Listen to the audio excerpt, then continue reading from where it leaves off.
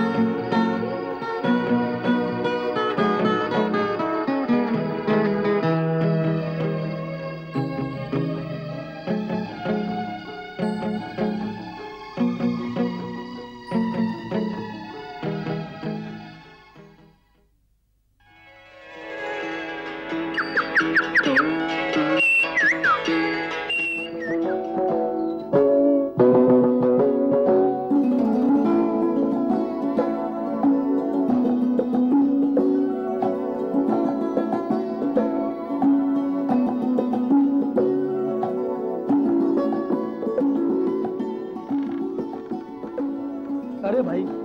काफ़ी अंदर जा चुका है। लगता है पानी निकलने ही वाला है। अरे तू जल्दी जल्दी हाथ चला।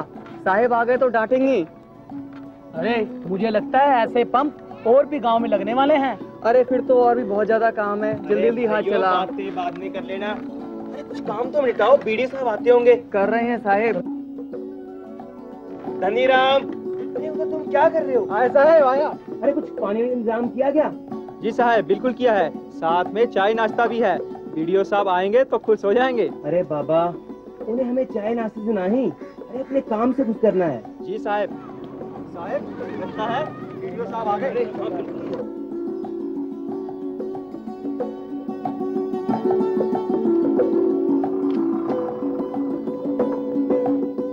आइए।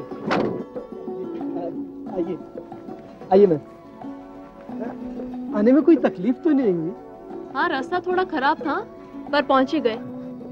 अरे धनीराम अरे वहाँ क्या कर रहा है? खटियावड़े डाल और पानी पिला जल्दी से। नहीं नहीं अभी बैठने का बिल्कुल समय नहीं है। पहले देख लो काम का क्या प्रोग्रेस है। जी मैडम बिल्कुल मैं आइए अभी आपको बताता हूँ चलिए।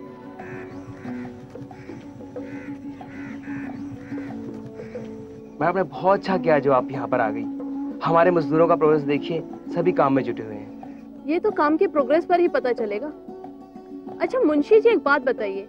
आ, ये पाइप कितना गहरा गया हुआ है? मैडम पचास या साठ फीट तक खुद चुका है। और अ, लगता है कि पाँच या छह फीट के बाद पानी आ जाएगा। जी मैम साहब ये पानी।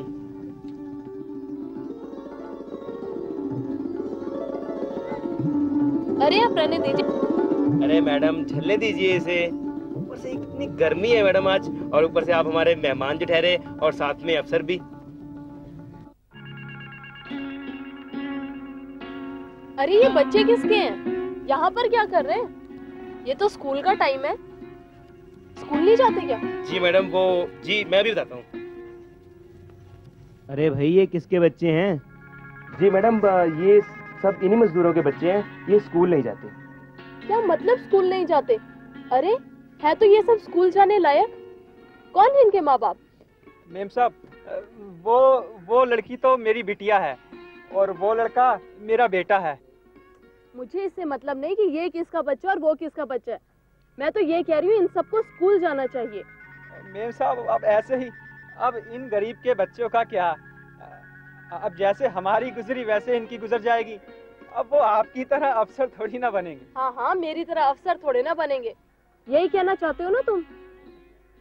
मेरे पिताजी भी यही बोले थे। अरे वो तो मेरी जिद थी जो मैं पढ़ लिख गई और आज इस काबिल हूँ। वरना मैं भी कहीं चूल्हा चौका फूंक रही होती। मुझे तो आज भी वो दिन याद है।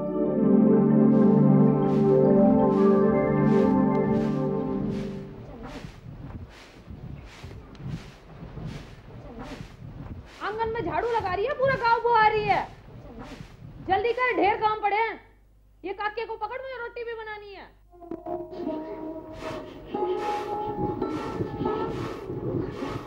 तो स्कूल क्यों नहीं जाती? कैसे जाएगी। इसके माँ बाप भी कभी गए हैं स्कूल? आज तो मैं अम्मा से बात करके ही आऊँगी। देख तू कैसे नहीं भेजती मुझे स्कूल अम्मा ओ अम्मा तू मुझे स्कूल क्यों नहीं भेजती? रमिया जरा कच्ची पकड़ा दे। मुझे पता है तू मेरी बात कभी नहीं सुनेगी। क्या हुआ? फिर किसी बच्चे ने कुछ कह दिया? बस तू बता ना अम्मा। क्यों नहीं भेजती मुझे स्कूल क्यों? क्या करेगी स्कूल जाकर? पढ़ूँगी? और क्या? जैसे सभी बच्चे पढ़ते हैं मेरा भी मन करता है। बड़ी आई पढ़ने वाली। तेरे बाप ने कभी किताब उठा के देखी है जो तू पढ़ेगी है?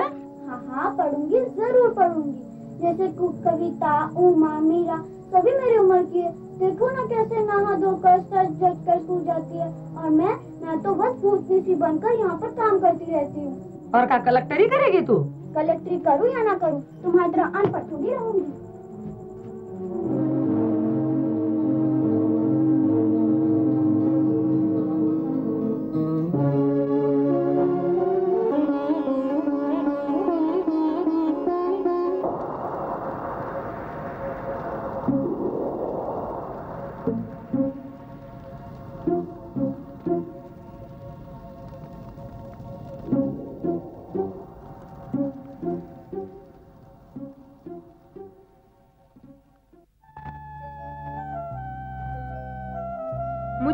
रम्या आज भी याद है, जो स्कूल जाने की इतनी इच्छुक थी कि अक्सर सपनों में खो जाती थी।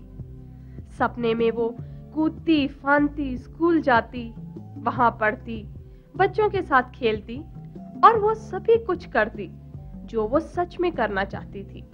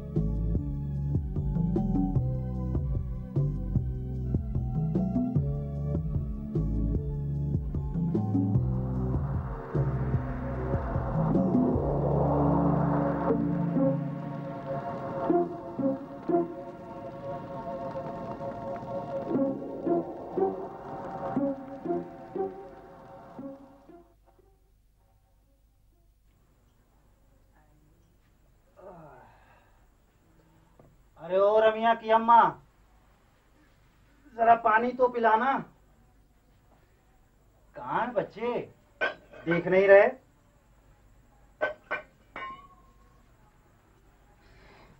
एक तो डोल रहा है इधर उधर और वो दूसरी तुम्हारी रमिया सुबह से पड़ी है खाट पे। काहे? बुखार है का? हाँ बुखारी समझो। पढ़ाई का फिर से।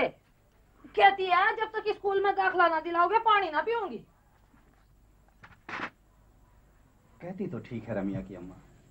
अब देखो ना, हमारी तुम्हारी भी कोई ज़िंदगी है। जब देखो तब कोई न कोई मूर्ख बना ही देता है। अब आज ही की बात लो, वो ठेकेदार कह रहा था रामदीन आजकल बड़ी छुट्टियाँ कर रहे हो। मैंने कहा, साहब, इस महीने तो मैंने कोई छुट्टी नहीं की। हाँ जी, इस महीने तो कोई छुट्टी करी ही नहीं आपने। वो जिस दिन तुम्हारे कमर में दर्द था, तब भी गए थे। काम पे? तुम बोले नहीं उससे? का बोलता? का बोलता मैं उससे? वो तो लगा अपना रजिस्टर रजिस्टर दिखाने। बोला देखो देखो है ना छुट्टियाँ? चार चार छुट्टियाँ। उसने कही और तुमने मान ली? का करता? अरे मरता का न करता? मैं अनपढ़ गवार का जानू कौन सा महीना कौन सी तारीख? अब फिर कोई मेरे कहे पर विश्वास करता या उसके लिखे पर? ज़्यादा चू चपड़ करता तो नौकरी से और हाथ धोता। फिर रोटी कहाँ से आती? कौन हो भैया? डाकिया। आ जाओ भैया भीतर आ जाओ। राम राम राम नील भैया। राम राम राम। राम ये आपकी एक चिट्ठी आई है ये लीजिए। भैया हम ठहरे अनपढ़ गवार। जरा तुम ही पढ़ के सुना दो ना। भैया बात ऐसी है मुझे पूरे गाँव में चिट्ठियाँ बांटनी है। ऐसा करो बिटिया है ना बिटिया से पढ़ा दो। अरे बिटिया कौन सी पढ़ी लिखी है जो चिट्ठी पढ़ेगी? रामलीन भैया क्या बात कर रहे हो? इतनी बड़ी हो गई है बिटिया और अभी तक आपने उसे स्कूल में नहीं भेजा? कहा होगा जी स्कूल जाके? अभी तो ब्याह की उम्र हो गई है उसकी। अरे रमिया की माँ कम से कम ब्याह से पहले उसे स्कूल में कुछ पढ़ा लिखा तो लो। काहे? अरे बाद में वो अपने सुख दुख की तुम्हें लिख के तो भेज पाएगी। रामदीन भैया मुझे गाँव में बहुत चिट्ठियाँ बांटनी है। अच्छा मैं चलता हूँ। राम राम। अच्छा भैया राम राम।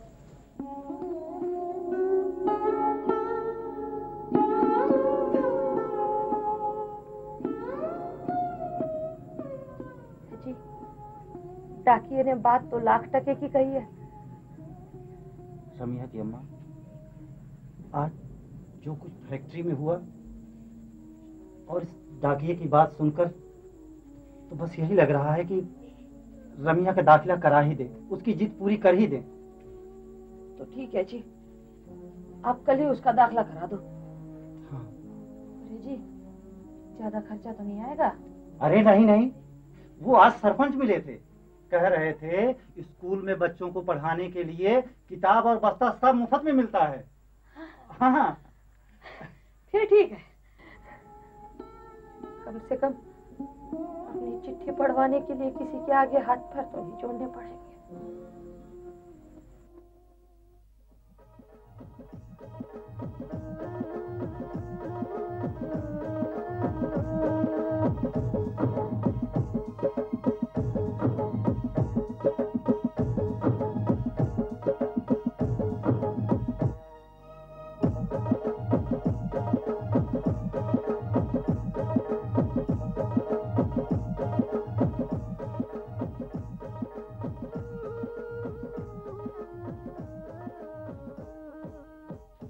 दिन मेरी ज़िंदगी का सबसे महत्वपूर्ण दिन था।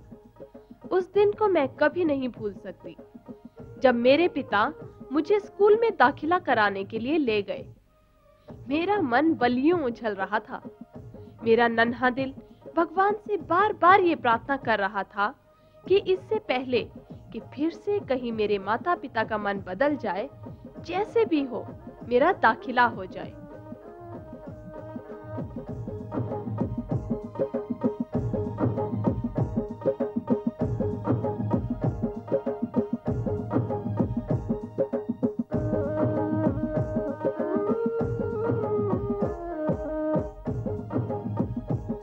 बहन जी नमस्कार। नमस्कार। अ, क्या बात है? जी इसका वो दाखिला कराना है। दाखिला कराना है? अ, ये लो। ये लो। ये फॉर्म भर दो। फार्म? पेन चाहिए क्या? ये लो पेन और यहाँ बैठ के आराम से भर लो।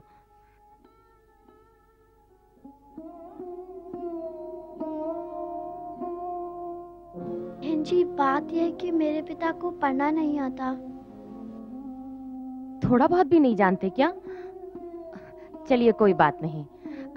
बड़ा आसान सा फॉर्म है। तुम ही भर दो। तुम्हारे पिता इसमें अंगूठा लगा देंगे। जी मैं तो तुम भी पहली बार स्कूल आई हो क्या? उम्र से तो बड़ी लगती हो। जी गलती हुई जो इसका दाखिला नहीं करा पाए। अब गलती की आपने और भुगतेगी आपकी बेटी। बड़े बच्चों के साथ तो इसको बिठा नहीं सकते क्योंकि अभी इसे शुरू से पढ़ना है। और छोटे बच्चों की क्लास में इसे बिठाना ठीक नहीं होगा। वहाँ इसे छोटे बच्चों के साथ अजीब लगेगा। देखिए बहन जी कुछ कीजिए। दरअसल इसका पढ़ाई का बहुत मन है। हाँ कुछ तो करना ही पड़ेगा। पर पर मेरे बस में कुछ नहीं है। अ, ऐसा करते हैं हम प्रिंसिपल साहब के पास चलते ठीक है। ठीक है चलिए।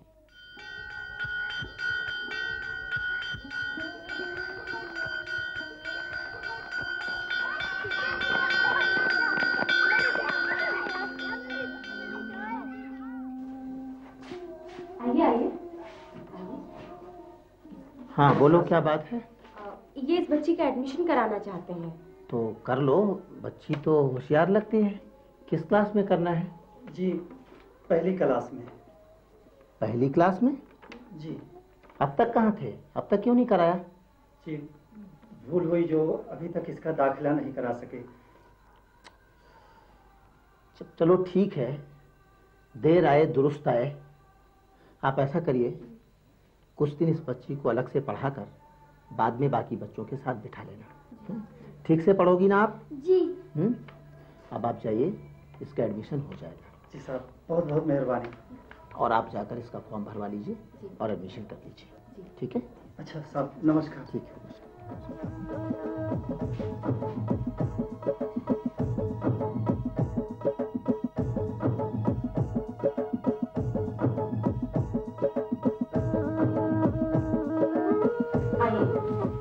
आप यहाँ बैठिए।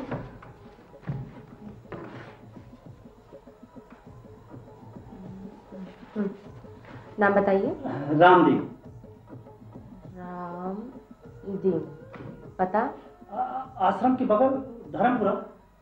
अच्छा आश्रम हम्म, धर्मपुरा। जी। बच्चे का नाम? रमिया। रमिया और बच्चे की उम्र क्या है? आ, बच्चे की उम्र यही कोई आठ नौ बरस होगी। हाँ। आठ या नौ? साढ़े आठ अब देखो बच्चे की उम्र भी आप लोगों को पता नहीं होती। चलो लगाओ यहाँ अंगूठा। जी। यहाँ पे। कल से आ जाना ठीक है? यहाँ कॉपी किताब बस्ता कल सब यही मिलेगा। ठीक है? अब जाओ। बहन जी भगवान आपका भला करे। हाँ अच्छा नमस्कार। नमस्कार।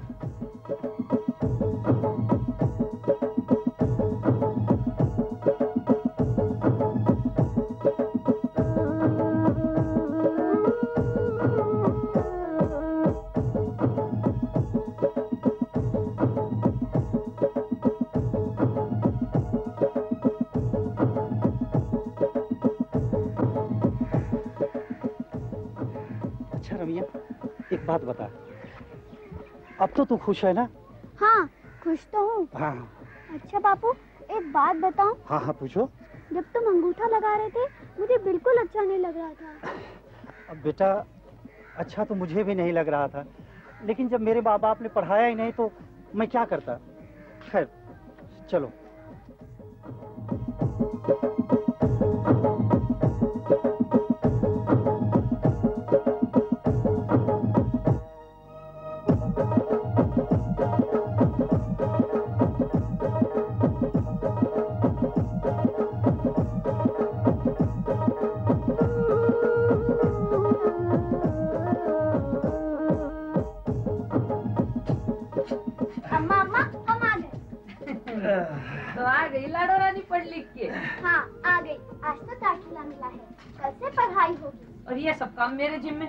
अरे भगवान, वो भी कर लेगी। काहे घबराती है? क्या स्कूल जाने वाले बच्चे काम नहीं करते?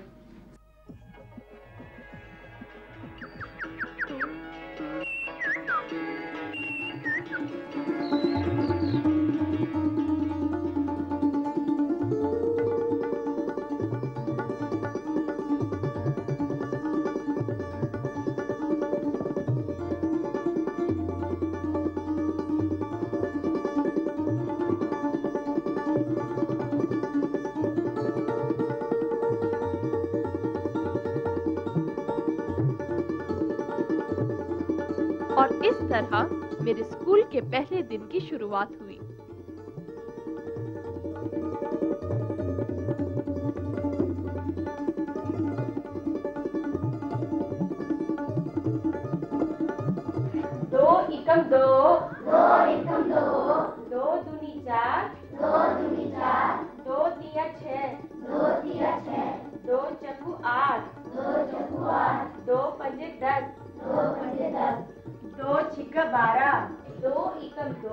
दो एकम दो।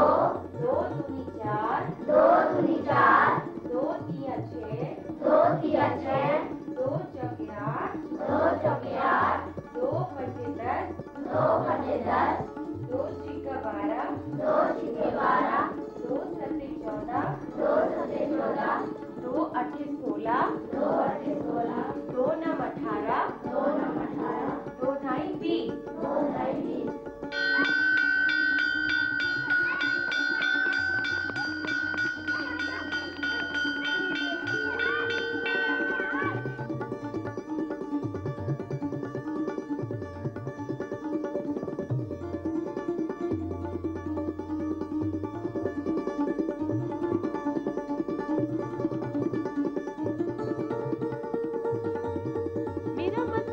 लगने लगा और मैंने खूब सारे मित्र बनाए।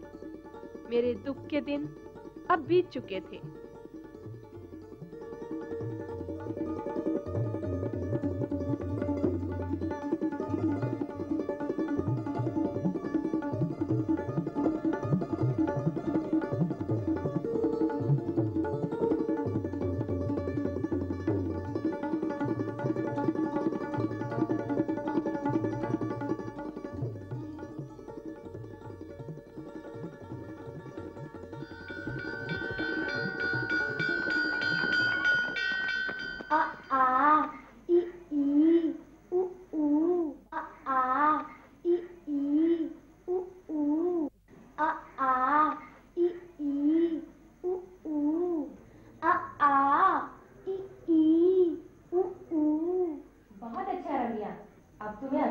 पहचान तो हो गई है। अब लिखना भी सीख लो। इधर आओ कॉपी लेके।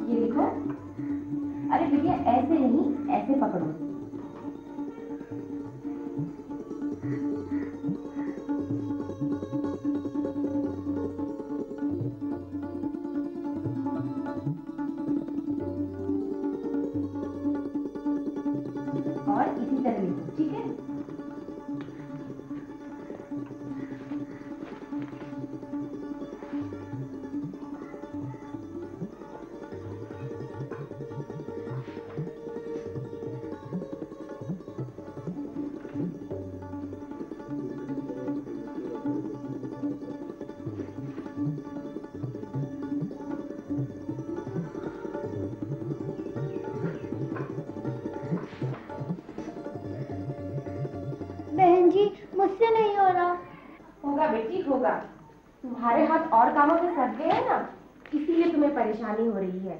थोड़ा अभ्यास करोगी तो सब सीख जाओगी। ठीक है?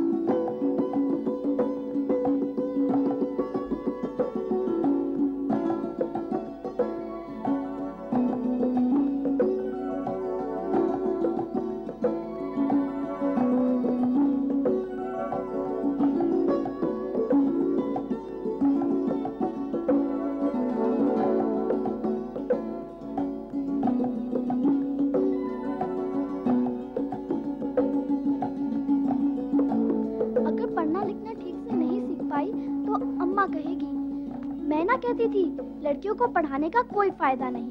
क्या करेंगे पढ़ लिख कर?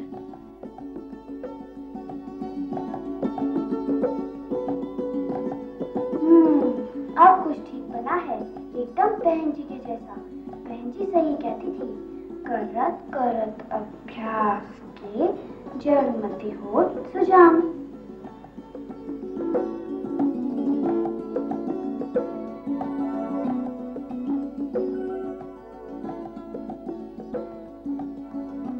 कल बहन जी को दिखाऊँगी तो बहुत खुश होंगी।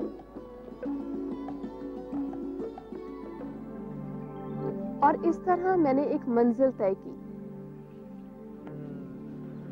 बहुत तकलीफ़ झेली होगी आप हाँ अगर माँ बाप पढ़े लिखे ना हो तो बच्चों को तकलीफ़ तो झेलनी ही पड़ती है। पर शुक्र था मेरे माँ बाप को समय रहते समझ आ गई।